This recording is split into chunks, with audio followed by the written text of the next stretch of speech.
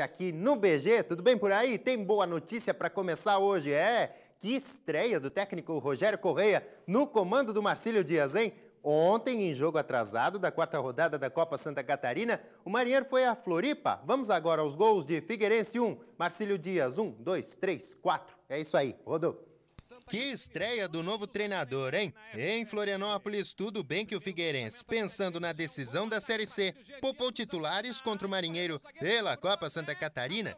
Mas o Marcílio Dias entrou diferente no Scarpelli. Desde o primeiro tempo de jogo, buscou o gol, encurralando o time da capital. Aos 31 da etapa inicial, Cezinha passou para Luiz Fernando. Ele tocou para Rafael Silva, que achou Alisson, que de longe soltou uma pancada. Alisson abrindo o placar. 1 a 0 Marcílio. Gol do Marcílio! No segundo tempo, o Marinheiro seguia melhor no jogo e logo aos seis, a defesa do Figueira cochilou. Rafael Silva ligado, puxou o contra-ataque para servir Luiz Fernando, que ampliou para 2 a 0. Gol do Marcílio! E cabia mais, aos 23, Jean Dias aproveitou a sobra para colocar no fundo do gol e marcar o dele. Não perde a conta aí não, Marinheiro 3 a 0.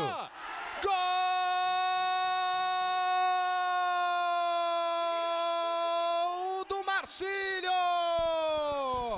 O máximo que o time da capital conseguiu foi descontar com o Gustavo Índio, que de cabeça deslocou Rodolfo Castro 3 a 1. Gol, Gustavo! Mas cabia mais. Para fechar a goleada, outro presente da defesa alvinegra. Da entrada da área, Daniel Dias manda bomba e passa régua no passeio. Figueirense 1, Marcílio Dias, líder isolado da Copa Santa Catarina, 4. Vira a goleada do Orlando Scarpelli! Daniel Dias, sai Zica, sai Zica, sai!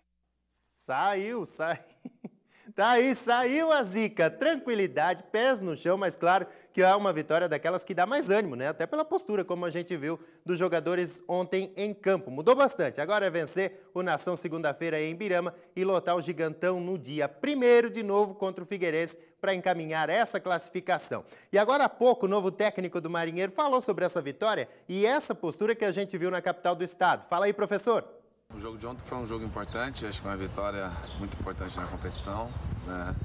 O clube precisava disso, os jogadores também. É, a gente fica feliz pela estreia positiva, né? E agora a cada dia colocar um pouco mais, trabalhar um pouco mais com os atletas, né? Continuar assim. Acho que o clube sempre vencendo, o torcedor feliz. Um pouco de tempo de trabalho que foi, acho que eles é, abraçaram a ideia, entenderam tudo que nós colocamos, principalmente na preleção, né, já pensando no adversário que, que tinha de ponto positivo e negativo.